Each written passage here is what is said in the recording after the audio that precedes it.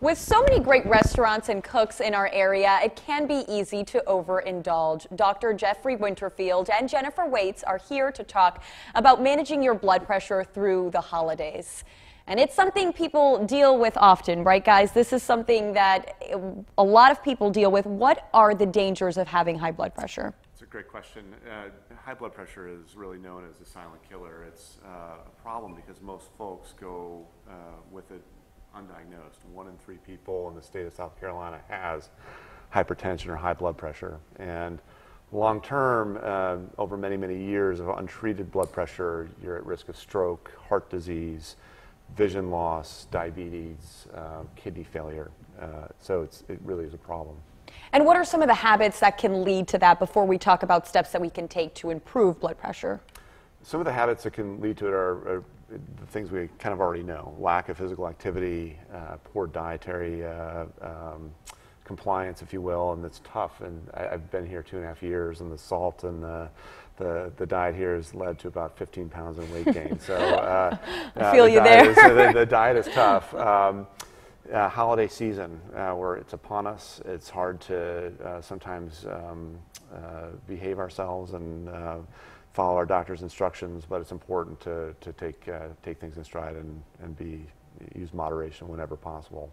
Um, alcohol intake can influence uh, uh, blood pressure as well. Um, I know some folks that have uh, cut out alcohol completely as my patients, and uh, they've uh, been able to either Uh, stop taking blood pressure pills or cut down significantly on those. On so Dr. has us covered on all the bad news. Jennifer, what is the hope? What can we do on a day-to-day basis to help get that blood pressure down?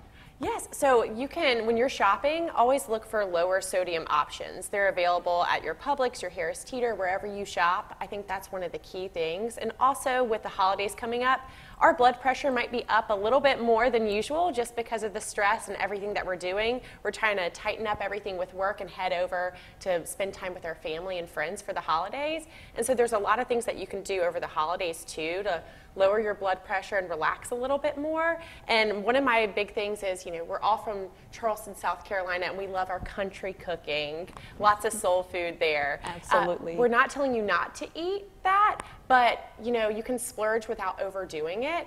And so portion control is key. Use smaller plates. Survey the lay of the land and look at the food that looks interesting to you and say, okay, here are the three things that I'm going to eat and I'm going to fill up this tiny plate and eat it. It's tough to do, but it's one of the steps that I've been doing and it's been working.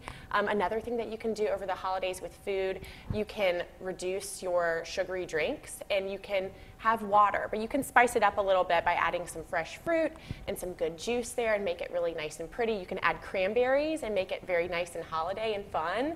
So there are a lot of little things that we can do. And another thing too, with the holidays, don't be afraid to say no. Uh, we have a lot of holiday invitations coming up, a lot of parties, a lot of things that we're doing, and you need to focus on your well-being and go outdoors and spend time with your family, walk the dog. Maybe not right now with the rain, but when things clear up, you can do that. It is all about balance. Well, thank you guys so much for joining us. Important tips to keep in mind during this holiday season. We appreciate you uh, joining us.